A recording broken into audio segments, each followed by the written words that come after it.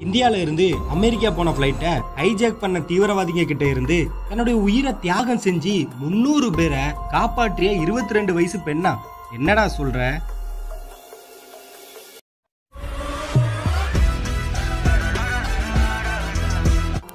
ஆயிரத்தி தொள்ளாயிரத்தி எண்பத்தி ஆறு செப்டம்பர் அஞ்சுல மும்பையில இருந்து அமெரிக்காவை நோக்கி பேன் ஏஎம் அப்படிங்கிற ஒரு விமானம் சென்றது. இந்த விமானம் அமெரிக்கா போறதுக்கு முன்னாடி பாகிஸ்தான் துபாய் போன்ற நாடுகள்ல நின்று போகணும் அப்படின்னு திட்டமிடப்பட்டு கிளம்பியது. இந்த விமானத்துல மொத்தம் முன்னூத்தி அறுபது பயணிகளும் பதிமூணு விமான பணியாளர்களும் இருந்தாங்க. அதுல மூத்த விமான பணியாளராக இருந்தவங்க தான் நம்ம நீர்ஜா பேனர் விமானம் கிளம்பிய சில மணி நேரத்துல பாகிஸ்தான் விமான நிலையம் கராச்சியில வந்து தரையிறங்குது. அங்கு பாதுகாப்பு அதிகாரி போல இருந்த நாலு பேரு விமான நகரத்துக்குள்ள வந்தாங்க. அப்படி வந்த உடனே மறைச்சி வச்சிருந்த ஆயுதத்தை காட்டி விமானத்தை கடத்துறோம் அப்படின்னு அறிவிச்சாங்க.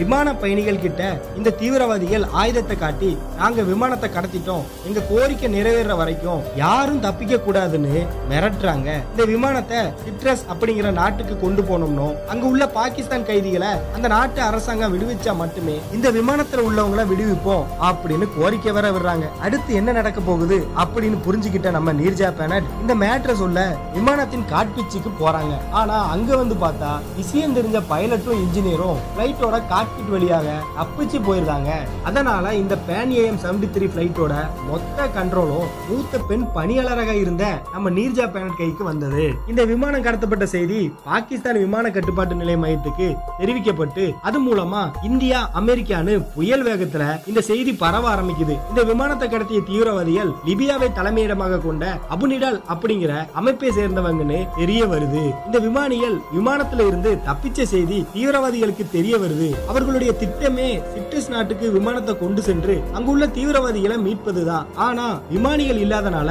அவங்க திட்டம் ஃபெயிலியர் ஆகுது. அடுப்பான தீவிரவாதிகள் அங்குள்ள பயணிகளை துன்புறுத்தி இணைய கைதியாக்கி உயர் அதிகாரி கிட்ட பேச்சுவார்த்தை நடத்துறாங்க. இந்த தீவிரவாதிகள் எல்லாரும் அமெரிக்காக்காரங்களை போட்டு தள்ளுறதுல மட்டும் ரொம்ப குறியா இருக்காங்க. இந்த பயணிகள்ல ஒருத்தர் அமெரிக்காக்காரன்னு தெரிஞ்ச உடனே அவரை அடிச்சு மிதிச்சு எக்ஸிட் டோர் கிட்ட கொண்டு போய் சுட்டு எக்ஸிட் டோர் வழியா வெளியே தள்ளிடுறாங்க.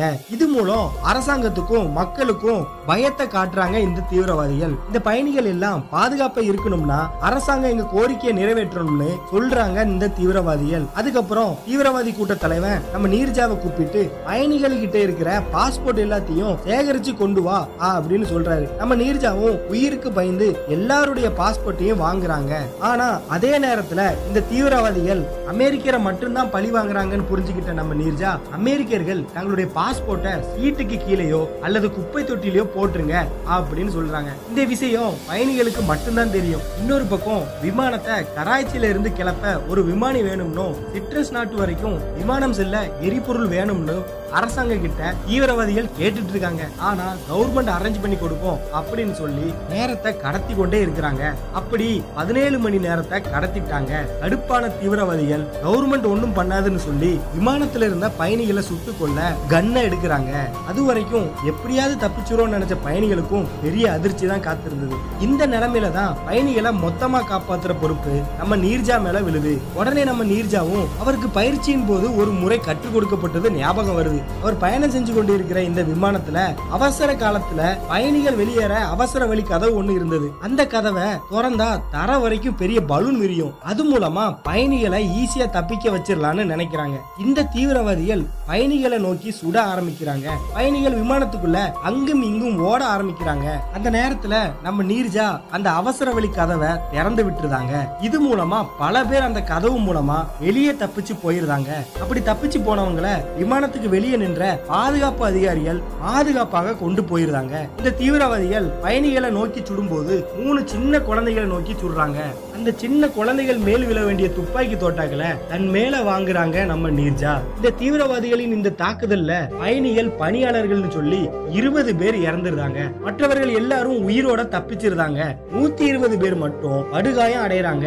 இந்த விமானத்துல படுகாயம் அடைந்த நம்ம நீர்ஜாவை பார்த்த சக பணியாளர்கள் நம்ம நீர்ஜாவை தூக்கி கொண்டு அவசர வழி கதவு வழியா குதிச்சு தப்பிச்சிருந்தாங்க நம்ம நீர்ஜாவை மருத்துவமனைக்கு கொண்டு போறாங்க. ஆனா ஆல்ரெடி நீர்ஜா இறந்துருந்தாங்க தன்னுடைய பிறந்த நாளுக்கு ரெண்டு நாளுக்கு முன்னாடி தான் நம்ம நீர்ஜா இந்த தீவிரவாதிகளால சுட்டு கொல்லப்படுறாங்க.